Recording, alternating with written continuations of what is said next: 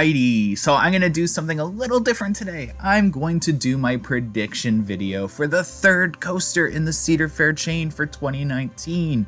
Yes, third. Only third, because I only think three coasters are coming to Cedar Fair next year. Um, this is because on the stockholder call, they said that they weren't going to build four coasters for a while um, after the 2018 season. So I um, we already know that Carowinds is getting their Mack double launch coaster, and we know that Canada's Wonderland is getting a dive coaster. Both very large attractions, so they're eating away at the budget already with that. So, in this video, I'm going to discuss which park and which coasters I think are possible for the Cedar Fair chain in 2019. So let's get right into it. We already know that Canada's Wonderland is off to quite the start on their construction project, um, with their footers already laid for the station, brake run, and transfer track.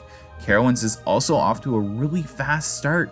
Um, out of nowhere, they're digging footers, prepping waterwork, and doing large land clearing a Mack coaster for Carowinds is absolutely insane, and I am so jealous for this Mack double launch coaster, and it is awesome that Mack is finally working with Cedar Fair and back in North America. I can't wait to see what other parks get a Mack coaster. I mean, there's 2020, there's 2021, 2022. Which parks are going to get the next Mack coaster? I mean, Cedar Point's 150th anniversary is coming up. Let's not exclude Mack out of that equation. And then there's other big parks like Kings Island, Kings Dominion, Carowinds, Knott's Berry Farm. What's going to happen? But anyways, let's get right to the point. Um, so you have a bunch of parks in the Cedar Fair chain, and you have them split into what I like to call two or three categories. You have your larger parks, you have your medium-sized parks, and then you have your small-scale parks. And 2019 may be a small park year.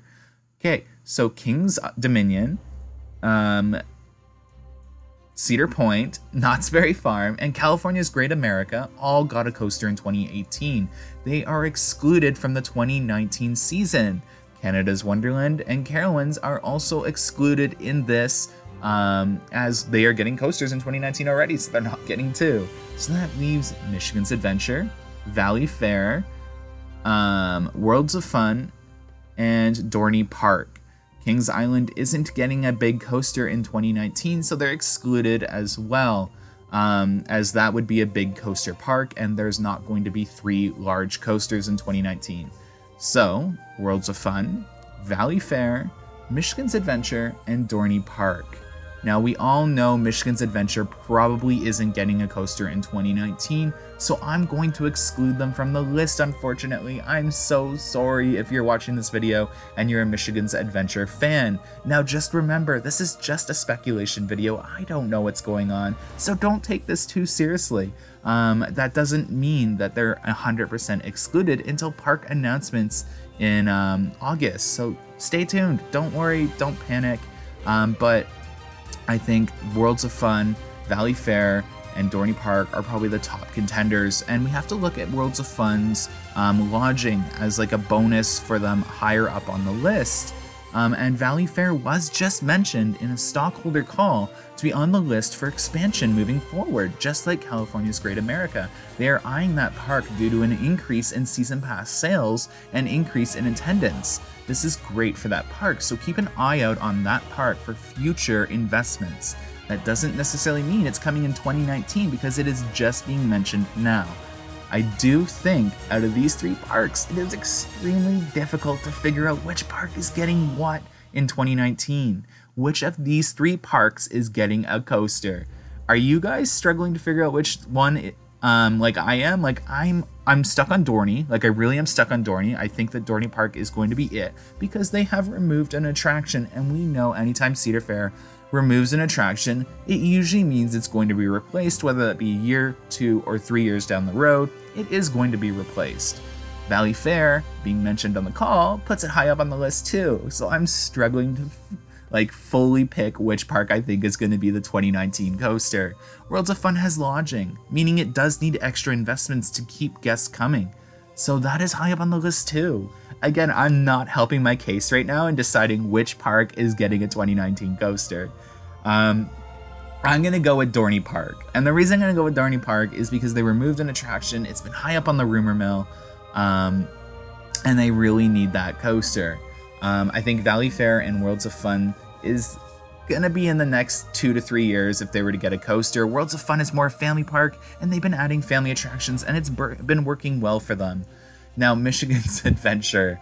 Michigan's Adventure, why I've excluded it, is because Michigan's Adventure is literally locked between Canada's Wonderland, Kings Island, and Cedar Point. There isn't much room or need for a coaster in this park. It doesn't need one.